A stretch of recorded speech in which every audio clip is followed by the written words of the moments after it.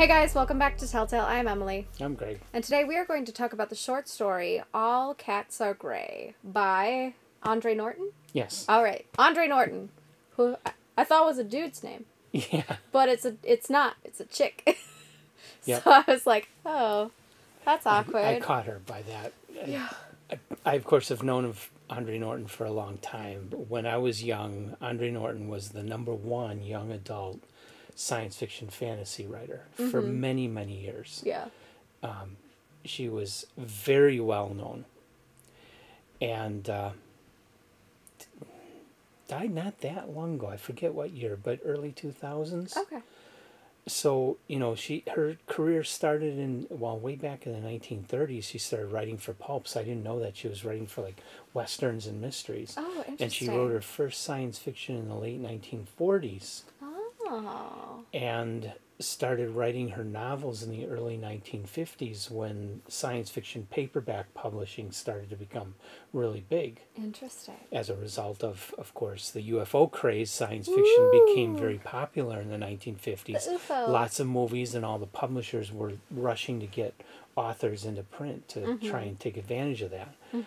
And so Andre Norton was all too happy to feed that desire, and, and she was very prolific, very good. Um, Andre, of course, you expect that to be a guy, but no, her real name was Alice. Okay.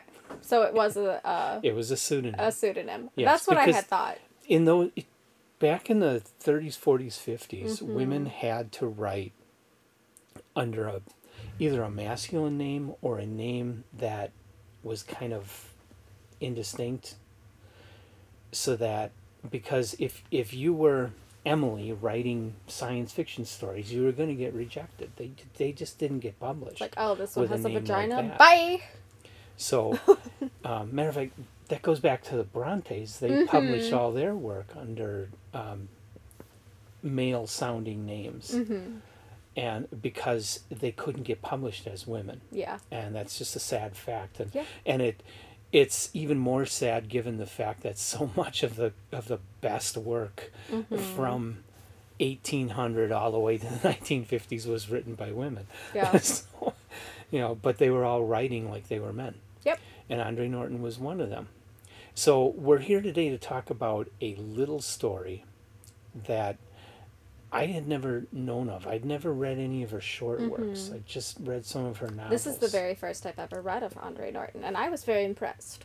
And I stumbled on this. I forget exactly how I came across this. I was just surfing the internet and all of a sudden I saw this story and all cats are gray. And I thought, well, you know, Emily and Samantha are going to love that. I, so I, I am posted very it and read it. intrigued. I was very intrigued because actually that All Cats Are Gray was a Benjamin Franklin quote about in part of one of his essays, I think it was in Poor Richard's Almanac, defending Okay. why you should take an older lover. because he was quite a libertine. The guy was a man ho. Okay, so what does that have to do with cats being In gray? the dark, all cats are gray was his kind of concluding statement. Where you in the dark you can't see what they look like, so it Oh. doesn't matter. yeah.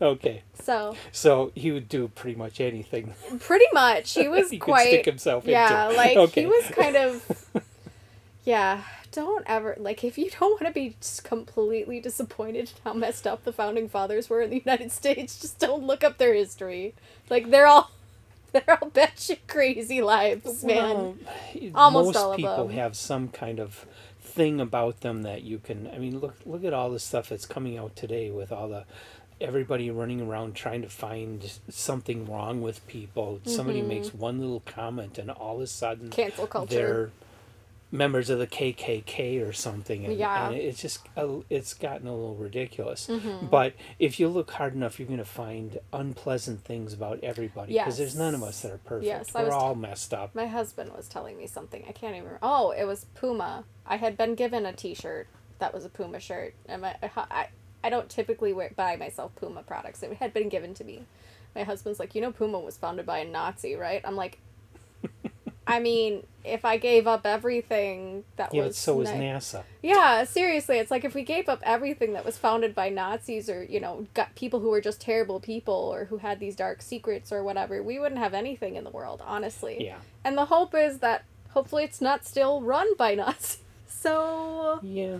you know, but it's yeah, that really is the conclusion is if we got rid of everything we didn't like.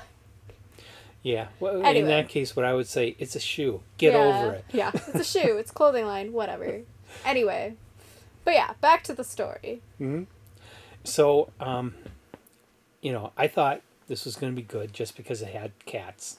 I like and I. I started reading it, and it was a handicapped female character. I like it. 1952. as the hero. Okay. You you you want to say A that? cat lady, no less. Yeah. A she- she handicapped likes cats. cat lady, single woman and is she's the hero. brilliant, and she's smart. wearing clothes, Yes. and yeah, she's not a sex object. She she's is. not bad looking, but she isn't all made up to Yeah. to be like a beauty queen. She's, Yeah, she's kinda got her plain. Mm-hmm. hair back in a net and you know wearing Yeah. frumpy clothes and stuff. Yeah. And she's a brilliant computer scientist. At at that time, she's being called good with calculators, but you know it's 1952. Mm-hmm. Yeah. Okay, she was a computer scientist Yes. and a brilliant one who could use computers to find treasure out in space. And so that's what she did. Is she signed on to various spaceships. She was a spacer. Mm-hmm. She would sign on to various spaceships and lead them to where they would get rich.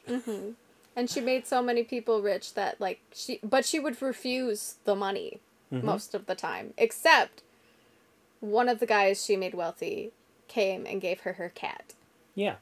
So, Bat is the name of the Bat cat. the cat. Bat the cat. And yeah. uh, so she and the cat lead this guy who was very Han Solo like. Mm-hmm. I couldn't believe that. Mm-hmm. Yeah, he You was at the a- end of his rope. He's in a he's in a bar. I'm thinking, okay, Mos Eisley. He's a, a About to lose his ship. you know about to lose his ship.